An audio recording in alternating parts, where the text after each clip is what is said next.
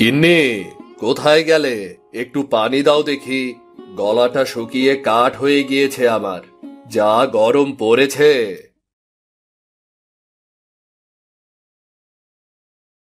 নাও পানি ভাতও এনেছি খেয়ে নাও।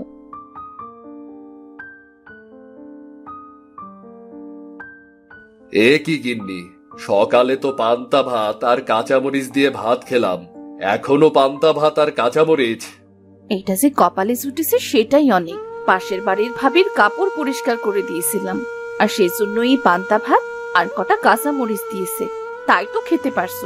আর না হলে যে আজ না খেয়েই থাকতে হতো। কি করব গিন্নি? কাজ তো কম করছি না। তবুও যে কেন কষ্ট পিছু ছাড়ছে না বুঝতে পারছি না। মনে হচ্ছে এক্ষুনি বৃষ্টি নামবে। তাড়াতাড়ি জ্বালানিগুলো তুলে নি। মা আমি তোমায় সাহায্য করি জ্বালানি তুলতে। তাড়াতাড়ি কর, মা। অনেক কষ্ট করে জঙ্গল থেকে জ্বালানি কুড়িয়ে এনেছি। এগুলো ভিজে গেলে যে আজ আর রান্না করতে হবে না। মা, দুদিন ধরে পেট ভরে কিচ্ছু খায়নি খুব খিদে পেয়েছে, মা। আজ একটু বেশি করে ভাত রান্না করো না। পেট ভরে খাব? এত কষ্ট করেও সংসার চালাতে পারছি না। মেয়েটার মুখে দুবেলা ভাত তুলে দিতে পারছি না। হে বিধাতা, তুমি একটা ব্যবস্থা করে দাও। একটা ব্যবস্থা করে দাও। মন খারাপ করো না বাবা। দেখবে একদিন আমাদের সব অভাব চলে যাবে। তোরা তাড়াতাড়ি ঘরে যা। দেখ বৃষ্টি শুরু হয়ে গিয়েছে। গিন্নি দেখো কেমন ঝড় হচ্ছে। এমন ঝড় হলে তো আমাদের ঘর ভেঙে যাবে। এমন অলক্ষণে কথা বলো না। বিধাতাকে স্মরণ করো। তিনি একটা ঠিক ব্যবস্থা করে দেবেন। রমেশ রূপা সোনালি যখন গল্প করছিল তখন তাদের বাড়িতে অনেকগুলো হাঁস এসে ডাকতে শুরু করে। বাবা মা দেখো না কত সুন্দর সুন্দর হাঁস এসেছে আমাদের বাড়িতে। বলি বাবা আমরা যদি হাঁস চাষ করি তাহলে কেমন হয় বলো? হাঁস যখন বড় হয়ে ডিম দেবে তখন আমাদের আর না খেয়ে থাকতে হবে না। কথাটা তুই মন্দ বলিস নি রে মা কিন্তু হাঁস কেনার মতো টাকা যে আমার কাছে নেই রে। বাবা আমরা সবাই মিলে পরিশ্রম করব টাকা জোগাড় করব। সে সময় হলে দেখা যাবে। তোরা এবার থামতো বলি শুনছো? দেখতে দেখতে তো সন্ধে হতে চলল। বৃষ্টি থামার তো কোনো নাম গন্ধও নেই। তবে কি আজও না খেয়েই থাকতে হবে? গিন্নি ঝড় কম হয়ে গিয়েছে। আমি বাজারে যাচ্ছি কাঠগুলো বিক্রি করতে। কিন্তু বাবা বাইরে তো অনেক জোরে বৃষ্টি হচ্ছে। এই বৃষ্টির মধ্যে তুমি কেমন করে বাজারে যাবে? আবার কিছুই হবে না। গিন্নি, তুমি ছাতাটা নিয়ে আসো দেখি। তোমাকে আর এই বৃষ্টির মধ্যে বাজারে গিয়ে কোনো কাজ নেই। আমি সীমা ভাবির বাড়িতে গিয়ে দেখছি, দুটো জোগাড় করতে পারি নাকি।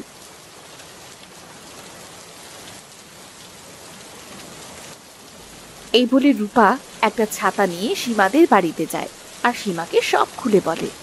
বলি, আপনার জন্য কি আমি চাল নিয়ে বসে আছি নাকি? প্রতিদিন কিছু না কিছুর জন্য তো আসতেই থাকেন।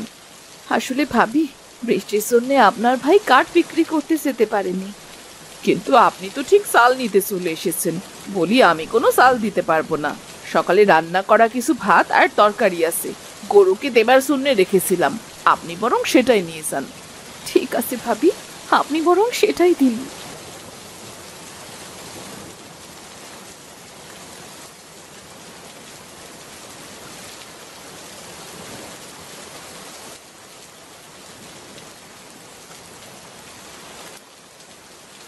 ওগো চাল কি পেলে?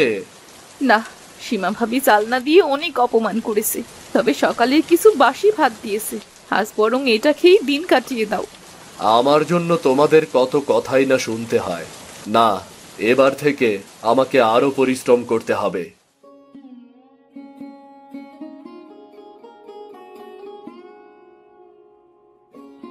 বাবা কোথায় যাচ্ছ তুমি? তোর কাশেম চাচার ক্ষেত পরিষ্কার করতে যাচ্ছি রে। আমিও যাব বাবা। তোমার সাথে আমিও যাব। কাশিম চাচার ক্ষেতের পাশেই তো নদী। নদীর উপর অনেক রকম শাক পাওয়া যায়। আমি সেগুলো তুলবো। তুমি বাজারে গিয়ে বিক্রি করো বাবা। তোকে কষ্ট করতে হবে না মা। তুই খেলতে যা। না বাবা। আমি টাকা গুছিয়ে হাঁস কিনতে চাই। মেয়েটা মধ্য বলেনি। আমিও মানুষের বাড়িতে কাজ করব। সবাই মিলে কাজ করলে হাঁস কেনার ঠিক একটা ব্যবস্থা হয়ে যাবে। আচ্ছা ঠিক আছে। তবে চল তুই আমার সাথে।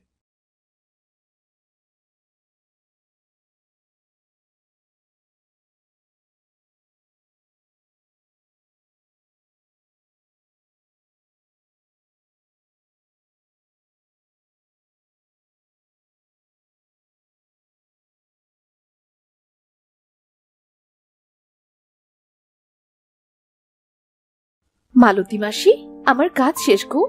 যদি টাকাটা দিতে তবে চলে যেতাম গো। এই নাও তোমার টাকা।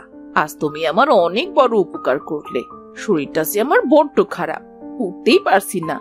তুমি না এলে গরু তো না খেয়েই থাকতো। আমারও টাকাটা দরকার মাসি।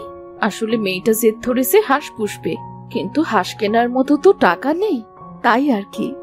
এটা তো খুব ভালো কথা। একবার যদি অনেকগুলো হাঁস কিনতে পারো তবে তোমাদের আর অভাব থাকবে না। দোয়া করো, মাসি, আমি আসি তবে। বাবা, তুমি তাহলে ক্ষেতটা পরিষ্কার করো। আমি নদীর ওপর থেকে শাকগুলো তুলে নিই। এই বলে সোনালি যায় নদীর পাড়ে শাক তুলতে, আর রমেশ এদিকে ক্ষেত পরিষ্কার করতে থাকে।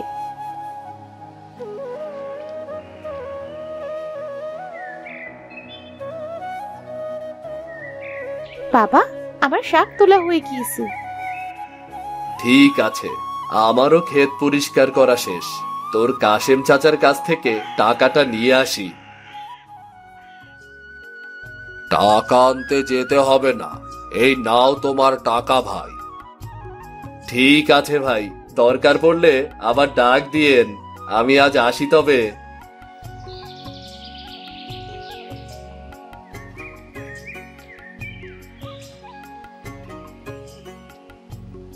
গিন্নি ও গিন্নি কোথায় গেলে? আমি বাজারে যাচ্ছি শাক বিক্রি করতে। দাঁড়াও আমার কাছেও কিছু টাকা আছে। আজ কাজ করে পেয়েছি এই টাকাও নিয়ে যাও। যদি কম দামের ভেতরে হাঁস পাও তবে কিছু হাঁস নিয়ে এসো। ঠিক আছে গিন্নি। এই বলে রমেশ শাক বিক্রি করতে বাজারে চলে যায়।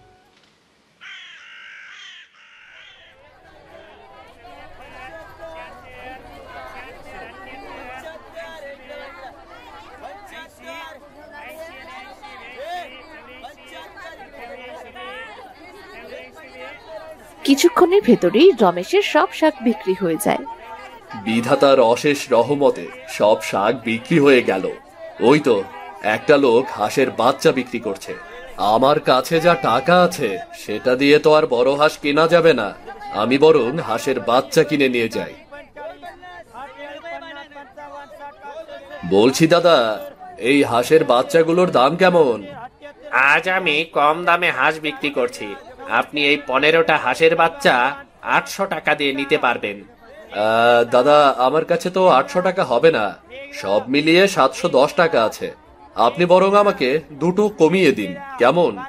এতে আমার লস হয়ে যাবে। আচ্ছা ঠিক আছে তবে আপনি তেরোটা বাচ্চাই নিন কেমন? এই নিন দাদা আপনার টাকা আমি আসি তবে।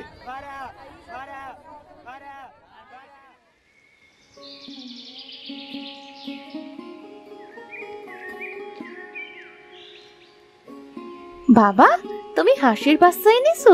আমার খুব আনন্দ হচ্ছে বাবা। আমাদেরও আজ থেকে অনেক হাঁস হলো। ওগো এতগুলো যে হাঁসের বাচ্চা আনলে তা এত হাঁস বড় হলে তুমি রাখবে কোথায়? আর তাছাড়া ওদের জন্য খাবার এনেছো আজ ওদের কি খেতে দেবে? না গিন্নি হাঁস কিনে সব শেষ হয়ে গিয়েছে। আচ্ছা মা আমি হাঁসগুলোকে ছেড়ে দিয়ে চারপাশটা ঘুরিয়ে নিয়ে বেড়াই। ওরা পোকামাকড় কুটে কুটে খাবে। আর কাল একটা ঠিক ব্যবস্থা করা যাবে। তবে তুই দেখ, কিছু খাওয়াতে পারিস নাকি? লতা ভাবির কাপড় পরিষ্কার করে দেওয়ায় সে কিছু চাল দিয়েছে। আমি বরং সেটাই রান্না করি। এই বলে রূপা রান্না করতে চলে যায়। আর সোনালি হাঁসের বাচ্চাগুলোকে ছেড়ে দেয় পোকামাকড় খাওয়ানোর জন্য। হাঁসের বাচ্চা কিছু না খাওয়ায় সোনালি ঘরে চলে যায়। এই ফাঁকে হাঁসের বাচ্চাগুলো হাঁটতে হাঁটতে একসময় সোনালিদের বাড়ির পাশের পুকুরে চলে আসে। মা ওমা হাঁসের বাচ্চাগুলোকে যে কোথাও দেখছি না ওরা গেল কোথায় সব? ওদের কোথায় রেখে গিয়েছিলি? কত আশা করে নিয়ে এসেছিলাম ওগুলোকে। সেই আশা বুঝি আর পূর্ণ হলো না। আসলে মা হাঁসের বাচ্চাগুলো কিছুই খাচ্ছিল না। তাই ঘরে গিয়েছিলাম ওদের খাবার মতো কিছু আছে কিনা তাই খুঁজতে। এসে দেখি আরে মেয়েটাকে বকাবকি না করে তাড়াতাড়ি হাঁসগুলো খোঁজো না হলে যে শেয়াল কুকুরে ধরে খাবে। তারা সবাই মিলে হাঁসের বাচ্চাগুলো খুঁজতে শুরু করে। হঠাৎ সোনালি দেখে তাদের বাড়ির পুকুর পাড়ে তাদের হাঁসের বাচ্চাগুলো ঘাস খাচ্ছে। মা বাবা ওই তো ওই তো আমাদের হাঁসগুলি। পুকুর পাড়ে কি সুন্দর করে ঘাস খাচ্ছে। আরে তাই তো। মা এখন থেকে আর হাঁসের চিন্তা করতে হবে না। এই পুকুর পাড়ের ঘাস খেয়ে ওরা বড় হবে। কথাটা মন্দ বলিসনি কিন্তু ওদের কোথায় রাখব? তেমন জায়গাই তো নেই। কেন বাবা? তুমি এই পুকুর পাড়ে হাঁসগুলোর থাকার জায়গা করে দাও। তাছাড়া এই পুকুর তো আমাদেরই। এখানে হাঁস পুষলে অনেক ভালো হবে। ওদের গোসল করতেও সুবিধা হবে। বলি আমরা বরং এই পুকুরে ছোট ছোট মাছ ছাড়বো শুনেছি মাছ খেলে হাঁস অনেক বড় হয়। আর তাড়াতাড়ি ডিম পারে হাঁসগুলো ভালোভাবে বড় করার জন্য আমাদের সবাইকে অনেক পরিশ্রম করতে হবে। মা সোনালি হাঁসের বাচ্চাগুলোর পেট ভরে গিয়েছে। আজ এদের বাড়িতে নিয়ে চল। কাল ওই পুকুর পারেই আমি হাঁসের জন্য ঘর বানিয়ে দেব। ঠিক আছে বাবা।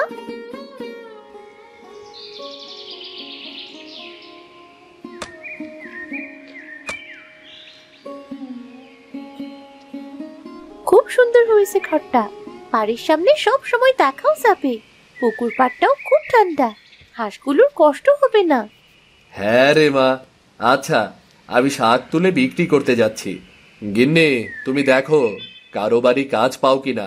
কিছুদিন কষ্ট করে পুকুরে কিছু ছোট মাছ ছাড়বো যাতে হাঁসের খাবার কষ্ট না হয়। বড় হলে কি আর শুধু ঘাসে হবে? আচ্ছা ঠিক আছে। তবে আমি যাচ্ছি। সোনালি মা তুই তোর বাবার সাথেই যা। এই বলে রূপা কাজ খুঁজতে চলে যায়। রমেশ আর সোনালি শাক তুলে বিক্রি করে। পুকুরে মাছ ছাড়ে। পুকুরের ওপর থেকে ঘাস আর পুকুর থেকে মাছ খেয়ে তাদের হাঁস অনেক বড় হয়ে যায়। আরে রমেশ ভাই, তুমি দেখি পুকুর ভরে হাঁস পুষতে শুরু করেছ। সেদিন যে হাঁসের বাচ্চা কিনেছিলে, সেটা সেই হাঁস না? হ্যাঁ ভাই, আসলে হাঁস পুষবার মতো তেমন জায়গা আমার নেই। তাই তো পুকুর পাড়েই হাঁসের খামার দিয়েছি। ওদের খাবার কেনার মতো টাকা নেই। এই পুকুরেই হাঁসগুলো সবসময় থাকে। ঘাস আর মাছ খেয়ে বাঁচে ওরা। কি বলছো? ঘাস আর মাছ খেয়ে তোমার হাঁস এত বড় হয়ে গিয়েছে? হ্যাঁ ভাই। দেখবে, এবার তোমার সব অভাব কেটে যাবে। তোমার হাঁস খুব তাড়াতাড়ি ডিম দেবে। আমি আসি তবে। রিতম সেখান থেকে চলে যায়। কেটে যায় আরও কিছুদিন। একদিন সকালে খামারের দরজা খুলতে গিয়ে সোনালি দেখে, তাদের দুইটা হাঁস মারা গিয়েছে, আর বাকি হাঁসগুলো সব অসুস্থ। হাই হাই হাই এই কি সর্বনাশ হলো? বাবা, মা, দেখো, আমাদের সব শেষ হয়ে গেল। কি হয়েছে? অমন করে কাঁদছিস কেন? আমাদের দুটো হাঁস মারা গিয়েছে, বাকি একটা হাসপাতে সবগুলো অসুস্থ। মনে হচ্ছে বাঁচবে না। কত কষ্ট করে না খেয়ে কত আশা নিয়ে হাঁসগুলো পুষেছিলাম। একটু সুখের মুখ দেখব বলে। আর বিধাতা বুঝি আবার কপালটাই ভেঙে দিল। বাবারে তোদের দেখে অনেক হাঁস। তা আমায় একটা হাঁস দিবি? অনেক দিন হাঁসের মাংস খাইনি। আসলে বুড়িমা আমাদের হাঁসগুলো যে অসুখ করেছে। ওই তো ওই ভালো হাঁসটা আমায় দিবি। ওই একটি হাসি ভালো আছে। তুমি যেহেতু চাইছো তবেও হাঁসটা তুমি নিয়ে যাও।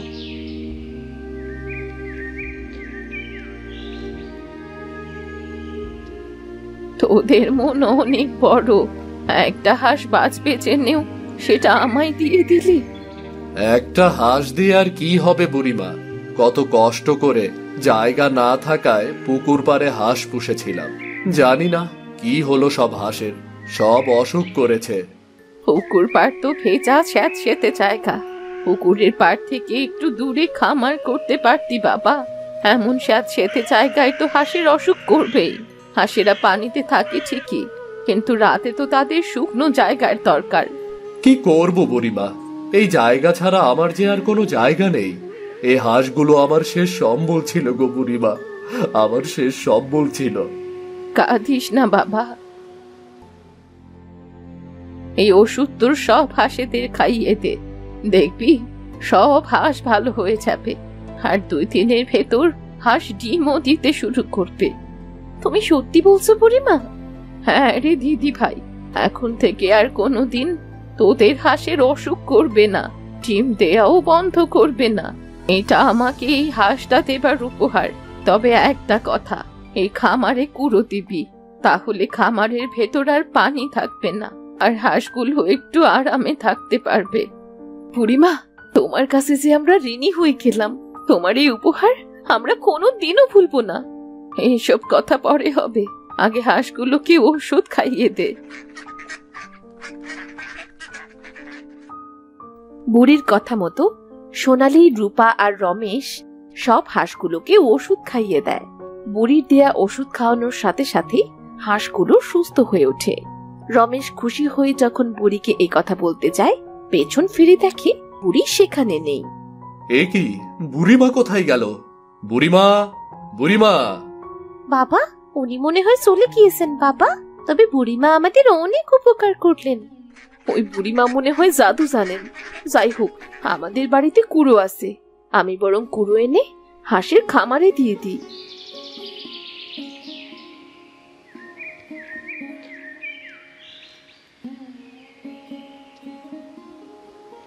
রূপা বাড়ি থেকে কুড়ো এনে হাঁসের খামারে দিয়ে দেয়। দু তিন দিন পর সোনালি পুকুর পাড়ে গিয়ে দেখে সেখানে অনেকগুলো ডিম। মা বাবা তোমরা দেখে যাও আমাদের হাঁস পুকুর পাড়ে ডিম দিয়েছে। সত্যি তো? বুড়িমার কথা সত্যি হলো। বাবা এখন থেকে আমাদের এই হাঁস আর ডিম পাড়া বন্ধ করবে না। এখন থেকে আমাদের সব অভাব চলে যাবে বাবা।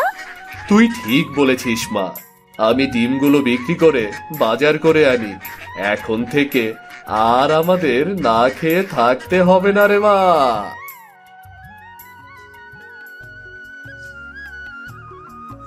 রমেশ খুশি মনে হাসির ডিম নিয়ে বাজারে চলে যায়। সে ডিম বিক্রি করে বাজার করে আনে।